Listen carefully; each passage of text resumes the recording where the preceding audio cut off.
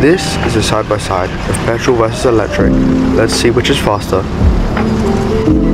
Coming through turn 1, I use my brake to rotate myself around the corner, which gives me a smoother run.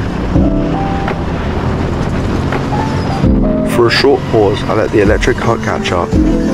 Coming through S-bend now, you can see myself using my brake to rotate myself through in both videos, but I'm using less of the exit in the electric car because the car has instant torque.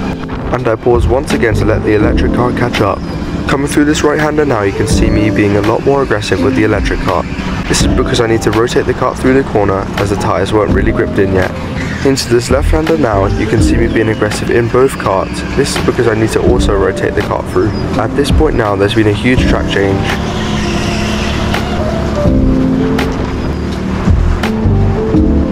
Coming through into the final corner, I'm being a lot smoother with the petrol kart. This is because the front end is a lot grippier. I'm now going to show you the full hot lap in both karts.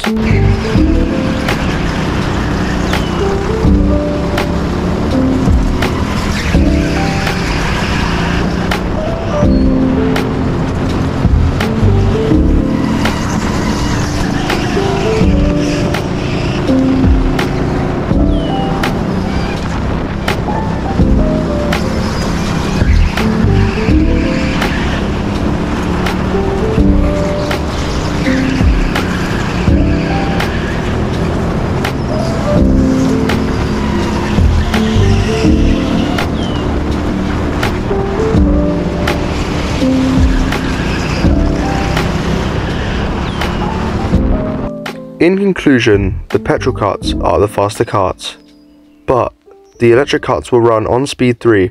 What would happen if they were run on speed 4? Could the electric karts be faster?